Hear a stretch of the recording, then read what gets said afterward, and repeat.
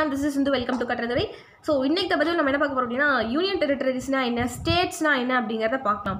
So இதுக்கு முன்னாடி நான் வந்து ஃபஸ்ட்டு நான் சூஸ் பண்ண டாப்பிக்கே பார்த்தீங்கன்னா ஸ்டேட்ஸ் டுவெண்ட்டி எயிட் ஸ்டேட்ஸ் இருக்குங்க இல்லைங்களா? நம்ம இந்தியாவில் வந்து இருபத்தெட்டு ஸ்டேட்ஸ் அப்படிங்கிறது இருக்குது மா மாநிலங்கள் அப்படிங்கிறது இருக்குது ஸோ இதை வந்து எப்படி ஈஸியாக மெமரி பண்ணலாம் அப்படிங்கிற ஒரு டெக்னிக் தான் நான் ஆத்தில் வச்சேன். சங்ஸாக சங்ஸ் சங்க் பை சங்காக பிரித்து வச்சு நம்ம மெமரி பண்ணோம் அப்படின்னா ஈஸியாக இருக்கும் அப்படிங்கிறதுக்காக அதுதான் பண்ணான்னு நினச்சேன். ஃபஸ்ட்டு அதுக்கு தான் நான் வந்து நிறையா ப்ரிப்பேரும் பண்ணேன். அதுக்கப்புறம் பார்த்தீங்கன்னா யூனியன் டெரிட்டரிஸ்னால் என்ன அப்புறம் ஸ்டேட்னா என்ன அப்படிங்கிற புரியல் புரிதலே வந்து இன்னும் சில பேர்த்துக்கு இல்லாதனால சரி இதை வந்து சொல்லிடலாம் ஃபஸ்ட் அப்படின்னு சொன்னேன்.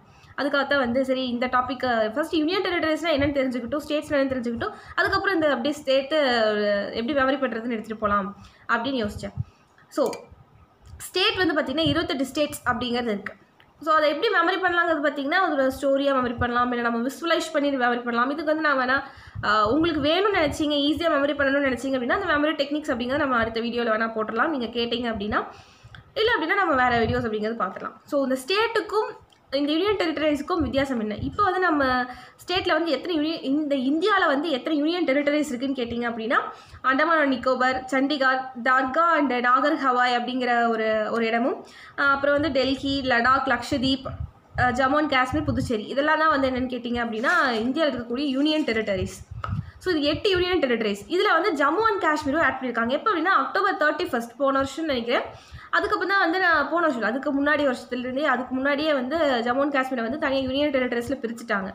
அந்த நியூஸ் எல்லாமே நம்ம கேள்விப்பட்டிருப்போம்னு நினைக்கிறேன். ஏன் அப்படின்னா அந்த ஜம்மு அண்ட் காஷ்மீரை ஸ்டேட்டாக தான் இருந்துச்சு ஆக்சுவலி அதுக்கப்புறம் ஒரு சில ரீசன்ஸ்னால கவர்மெண்ட் வந்து என்ன பண்ணியிருக்காங்கன்னா அது யூனியன் டெரிட்டரிஸாக மாற்றிட்டாங்க சரி என்னடா அது யூனியன் டெரிட்டரிஸ்னால் என்ன ஸ்டேட்னா என்ன அது கொஞ்சம் சொல்கிறியா அப்படின்னு கேட்டிங்கன்னா அதுதான் என்ன அப்படின்னா ஸ்டேட்டுங்கிறது ஒரு மிகப்பெரிய இடமா இருக்கும்.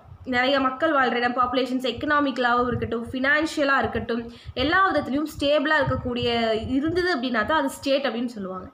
இப்போ ஜம்மு காஷ்மீர் இதெல்லாம் எடுத்துக்கிட்டிங்க அப்படின்னா அங்கே வந்து ஸ்டேபிள்னஸ் இல்லை லக்ஷதீப் அண்டமான் நிக்கோபர்னா நிறைய மக்கள் தொகை அப்படிங்கிறதுல ஒரு ஸ்டெபிலிட்டி எக்கனாமிக்கலாக இருக்கட்டும் ஃபினான்ஷியலாக இருக்கட்டும் பொலிட்டிக்கலாக இருக்கட்டும் இந்த மாதிரி ஒரு பொலிட்டிக்கல் சப்போர்ட்னஸ் அப்படிங்கிறது அந்த மாதிரி கண்ட்ரீஸில் இல்லை. அப்படி இருக்கும்போது அங்கே வந்து டேரெக்டாக சென்ட்ரல் கவர்மெண்ட் ரூல் பண்ணுறது தான் கரெக்டாக இருக்கும். அங்கே ஒருத்தவங்களை அப்பாயின்மெண்ட் பண்ணி அங்கே ஒரு கவர்மெண்ட் உருவாக்கி அப்படிங்கிறது சரி வராது. அவங்களுக்கு அந்த நிலத்தை வந்து நம்ம வளப்படுத்தணும் அப்படிங்கிறதுக்காகத்தான் வந்து அது யூனியன் டெரிட்டரிஸாக கொடுத்துருக்காங்க. யூனியன் டெரிட்டரிக்கும் ஸ்டேட்டுக்கு டிஃப்ரென்ஸ் என்னென்னு பார்த்தீங்கன்னா ஸ்டேட்டில் வந்து நம்ம வந்து ஒரு சீஃப் மினிஸ்டர் ஆக்ட் பண்ண முடியும்.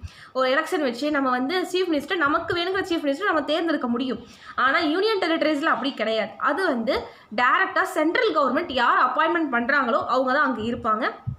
சென்ட்ரல் கவர்மெண்ட் நம்ம நமக்கு ஸ்டேட் கவர்மெண்ட் இருக்குது நமக்கு ரிலாக்ஸேஷன்ஸ் நிறையா இருக்குது நம்ம ஸ்டேட் கவர்மெண்ட்டில் இருக்கிறவங்க வந்து எலெக்ஷன் வைப்பாங்க அவங்க ஜெயிப்பாங்க நிறையா செய்வாங்க. We are enjoying we are we are independent நம்ம வந்து இண்டிபெண்ட்டாக இருக்கோம். நம்ம கண்ட்ரி அப்படிங்கிறது. ஆனால் இந்த மாதிரி சின்ன சின்ன ஏரியாஸ் சின்ன சின்ன இடங்கள் பொருளாதாரத்தில் வந்து வளராத இடங்களை வந்து அப்படி அமைக்க முடியாது. அதுக்காக என்ன பண்ணுறாங்க அப்படின்னா சென்ட்ரல் கவர்மெண்ட்டே டேரெக்டாக வந்து அங்கே வந்து அமைச்சு அதை ரூல் பண்ணுறதுக்கு ஆரம்பிக்கிறாங்க. அதில் வந்து யூனியன் டெரிட்டரிஸ்னு சொல்லுவோம். சரி இதில் வந்து பார்த்திங்கன்னா ரெண்டு விதமாக இருக்குது லெகிஸ்லேட்டிவ் நான் லெகிஸ்லேட்டிவ் அப்படின்னு சொல்லுவோம். Legislative union non legislative non legislative union சொல்லுவோம். சரி இந்த லெகிஸ்லேச்சர் அப்படிங்கிறது என்னென்னா அங்கே வந்து சட்டசபை அப்படிங்கிறது இருக்கும். யூனியன் டெரிட்டரிஸ் ரெண்டாக சொன்னேன் இல்லைங்களா? அதில் வந்து லெகிஸ்லேட்டிவ் அப்படின்னா Delhi and then Jammu and Kashmir இதெல்லாமே புதுச்சேரி டெல்லி ஜம்மு அண்ட் காஷ்மீர் இந்த மூணுமே வந்து இந்த லெகிஸ்லேட்டிவ்ல வரும். என்ன அப்படின்னா அங்கே சட்டசபை அப்படிங்கிறது இருக்கும். அங்கே எலெக்ஷன் அப்படிங்கிறது நடக்கலாம் நடக்கும். அதில் வந்து சட்டசபை அப்படிங்கிறது இருக்கும். அங்கே உறுப்பினர்கள் இருப்பாங்க. அந்த ஏரியாவுக்கு தனியாக முடிவெடுக்கிறவங்களாம் எல்லாமே சட்டசபை அப்படிங்கிறது இருக்கும். இருந்தாலும் கூட அங்கே யாராச்சும் ஒரு லாவை பாஸ் பண்ணணும் ஏதாச்சும் ஒரு புதுசு கொண்டு வரணும் அப்படின்னா அதுக்கு வந்து அவங்க வந்து பிரசிடெண்ட்டாக ஒரு லெட்டர் பெர்மிஷன் அப்படிங்கிறது வாங்கணும். ஆனால் நம்ம ஸ்டேட்டில் வந்து அப்படி கிடையாது. ஃபுல் இண்டிபெண்ட் அங்கே வந்து லெகிஸ்லேச்சர் அசம்பிளி சட்டசபை இருந்தாலும் கூட அங்கே வந்து என்ன பண்ணுவாங்கன்னா எஜுகேஷனாக இருக்கட்டும் இல்லை பப்ளிக் கமிஷன்ஸாக இருக்கட்டும் பொருளாதார முனிசிபல் கார்பரேஷன்ஸாக இருக்கட்டும் இந்த மாதிரி விஷயங்களை மட்டும்தான் அவங்க பார்த்துக்குவாங்களே தவிர ஸ்டேட்டோட செக்யூரிட்டியாக இருக்கட்டும் இல்லை மற்ற விஷயங்களும் எல்லாமே வந்து டேரெக்டாக சென்ட்ரல் கவர்மெண்ட் தான் கொடுப்பாங்க. ஸோ இந்த மூணுமே வந்து சட்டசபை இருக்கக்கூடிய ஒரு யூனியன் டெரிட்டரிஸ் மித்த இதெல்லாம் பார்த்துட்டிங்க அப்படின்னா டேரெக்டாக சென்ட்ரல் கவர்மெண்ட் தான் ரூல் பண்ணுறாங்களோ தவிர அங்கே வந்து தனியாக சட்டசபை அப்படிங்கிறது கிடையாது. ஸோ இது வந்து இன்னொரு மேஜர் டிஃப்ரென்ஸ் அப்படின்னு சொல்லலாம். அண்ட் ஸ்டேட் கவர்மெண்ட்டுக்கு வந்து ஒரு அட்டானமஸ் பவர் அப்படிங்கிறது இருக்கும். நம்ம ஸ்டேட்டில் வந்து இவ்வளோ பேர் இருக்கும். இந்த பவர் அப்படிங்கிறது நம்ம ஸ்டேட்டுக்குன்னு ஒரு பவர் இருக்கும் ஆனால் அங்கே வந்து அப்படி ஒரு அட்டானமஸ் பவர் அப்படிங்கிறது இருக்குது. Because it's directly belong to central government எந்த சட்டமாக இருந்தாலும் எந்த புது விஷயமா இருந்தாலும் நமக்கு வந்து ஒரு லா இப்போ எலெக்ஷன் வச்சு இதெல்லாம் பண்ணுறேன்னு சொல்கிறாங்க அப்படின்னா அது நம்ம வந்து நம்ம சீஃப் மினிஸ்டர் சொல்கிறாங்க ஆனால் யூனியன் டெரிட்டரிஸ்னு வரும்போது அவங்க அப்பாயின்மெண்ட் சென்ட்ரல் கவர்மெண்ட் வந்து அவங்க வந்து பிடிச்சாலும் பிடிக்கிறாலும் யார் அப்பாயின்ட் பண்ணுறாங்களோ அவங்க தான் வந்து சீஃப் மினிஸ்டர் அங்கே வந்து அவங்கள பார்த்துக்கிறவங்களாம் இருப்பாங்க. ஆனால் நம்ம கண்ட்ரியில் அந்த ஸ்டேட்ஸில் வந்து அப்படி இருக்காது. ஸோ இதுதான் வந்து யூனியன் டெரிட்டரிஸ்க்கும் ஸ்டேட்டுக்கு டிஃப்ரென்ஸ் எதுக்காக அமைச்சாங்க அப்படின்னா அந்த இடத்துல வந்து பொருளாதாரவோ எக்கனாமிக்கலாவோ இல்லை பொலிட்டிக்கல் பவர்னாலேயோ ஒரு வீக்னஸாக இருக்குது ஸோ அதை வந்து வளப்படுத்தணும் அப்படிங்கிறக்காக தான் வந்து இந்த யூனியன் டெரிட்டரிஸ் அப்படிங்கிறது கொண்டு வந்திருக்காங்க. ஸோ ஃபஸ்ட்டு எங்கே யூனியன் டெரிட்டரிஸ் வந்து ஆர்கனைஸ் பண்ணாங்கன்னா நைன்டீன் ஃபிஃப்டி சிக்ஸில் ஸ்டேட் ரெகக்னைசேஷன் ஆக்ட் அப்படிங்கிறது கொண்டு வந்தாங்க. நைன்டீன் ஃபிஃப்டி சிக்ஸில் state reorganisation act sorry reorganisation act reorganisation அப்படின்னா மறுபடியும் மறுபடியும் புதுப்பித்தல்.